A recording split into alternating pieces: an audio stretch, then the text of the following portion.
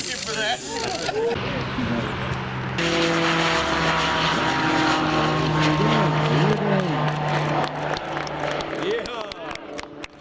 I'm here with Johannes Hubert, test pilots on this program. First of all, a great privilege to fly a new aircraft like that for the first time, a proper new, fresh design aircraft.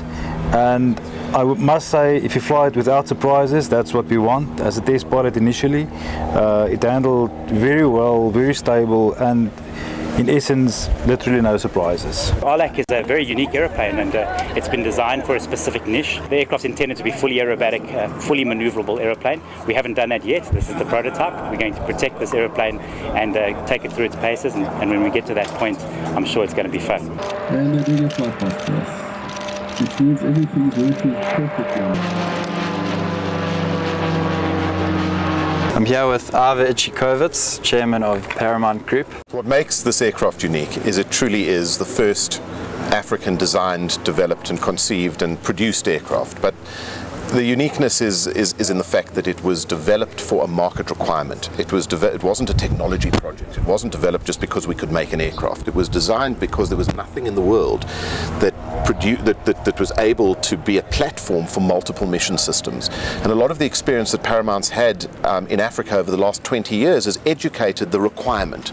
And we set out our, our, our minds and we, we tasked our team to go out and produce a platform that would meet specific mission and operational requirements, and that's what AHRLAC is today. There is nothing else in the world that has this capability, and I think that we've been able to prove that we can create an African product for the rest of the world.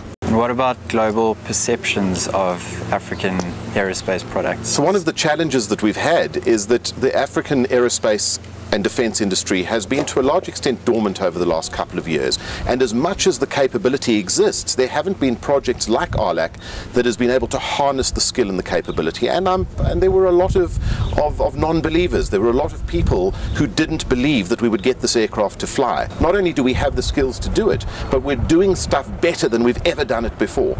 So for me, that this, this, is, this is really um, a, a, a lighthouse project, not just for the aerospace and defence industry, but as an indication of what we can do on this continent. It was never designed solely for Africa, and we're starting to have a huge amount of interest from, from the developed world as well as the developing world. Are you able to say at all whether government helped with funding and how much the project cost? So this project was 100% privately funded. Um, it's, uh, it- the project has cost hundreds of millions of rands. I'm, I'm not happy to disclose exactly how much. I'm sure many of our competitors would love to know what it cost to develop.